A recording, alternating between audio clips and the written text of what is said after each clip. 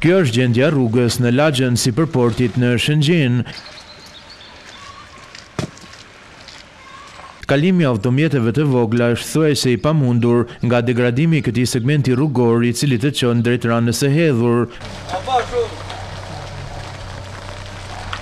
Përballë kësaj situate, banorët e kësaj zone dolën në protestë. Ata thonë se rruga është bërë e pakalueshme nga mjetet e tonazhit të rëndë dhe pavarësisht ankesave asnjë masë nuk është marrë për kthimin e saj në gjendjen e mëparshme.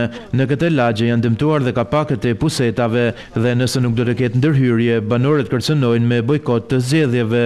Është prish kohët e fundit për arsye se u blloku rruga në Ka reparti dhe na futen ato betonjerat e mëdhaja. Jena ankuar n'bashki gjithanin në pjesën tu te komuna e Shëngjinit, s'na ka dhënë kush përgjigje. Ne nuk do të votojmë në qoftë se nuk na rregullojnë.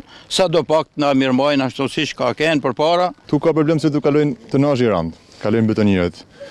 Për arsye të tonazhit rand janë thyta Pusetat, të cilat mund të bi një person mbrenda.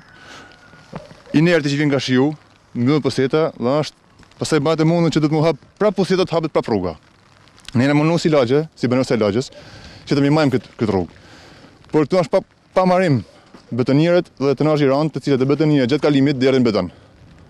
Siç shikoni ma po, ma poshtë te e malorja është bë, është e pakalueshme. Tash nuk dimë ça me ba. A jan dëmtu mjetet. Mjetet jan dëmtu sa dush. Na makina tona ne kena me grabelin hekurit, të cilat për arsye mos me thy sotokartën. Kena vu grabelin hekurit poshtë, shkaku i thymes e gurve.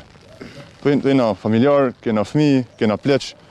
Do shkojmë në spital e një mijë e një halle. Ja, urdhno ankesat, urdhno shkresat, i kena ba kërkesë, i kena dërgu letër bashkisë, komunës, policisë, rajonit policisë Lezhë, rajonit Shëngjinit, asnji gja, asnji lloj përgjigje. Që nuk kërkojmë asnji gja ma tepër, thjesht, mirëmbajtjen e kësaj rruge, nuk kërkojmë asfalt, nuk kërkojmë drita. Vin betoniret e mdhaja e bizneseve që po ndërtojnë te Rana e Hedhun, na kanë dëmtu.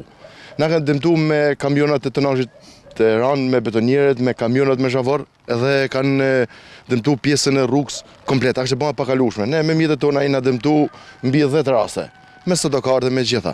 Ne s'po kërkojmë as nga bashkia që të na shtrojnë, s'kanë mundësinë, thjesht na mirëmbajnë ose të penalizot ajo firmë që e ka dëmtu rrugën. Ne pretendojmë që jemi vend bregdetar, presim turista, edhe asht ma turp për për ne edhe për bashkinë që del e prononcohet në ca faqe zyrtare si Facebook të po bëjmë namin presin ca ferra ku ato ato ferra i kam prerë vetë unë edhe do qytetarët që rrim këtu do banorët të lagjes i presin vetë ne ne nuk kena as edhe një lloj as edhe një lloj shërbimi nga as nga komuna as nga bashkia as një lloj institucion tu e ka bezdi t'vijë edhe ambulanca E kena thirr disa herë ambulancën, kur t'i thojmë ne kur t'i thojmë ne ambulancës ku jetojmë, edhe cil banor jena, në Shëngjin, ato nuk vijnë. Në këtë lagje jetojnë rreth tridhjetë familje dhe banorët i kanë dërguar një peticion Bashkisë Lezhë, ku kërkojnë ndërhyrje që rruga të bëhet lehtësisht e kalueshme, por deri tani nuk kanë marrë asnjë përgjigje.